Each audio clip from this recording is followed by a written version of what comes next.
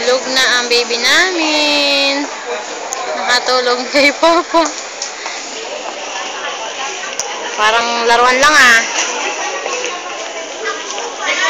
Diba? Ano yan, kawatan? Parang unggoy lang ah. Gum!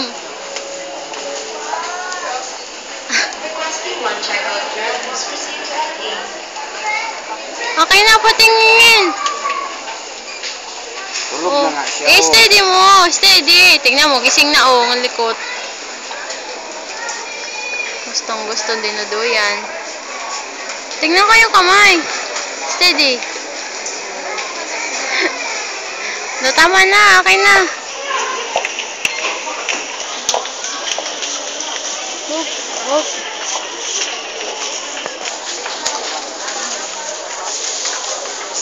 Ay, naku, magala.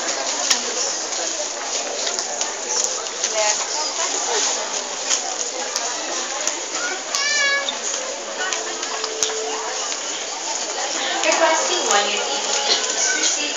Parang may unggoy lang ah. And hindi pala, kangaroo. Kangaroo. Tulog na baby namin. Ang bait-bait niyan. Ganda-ganda pa.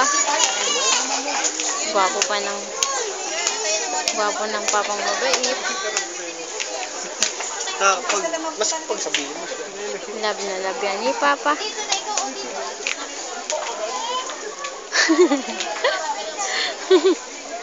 Uy, dandahon. Ala. Papa yung paa.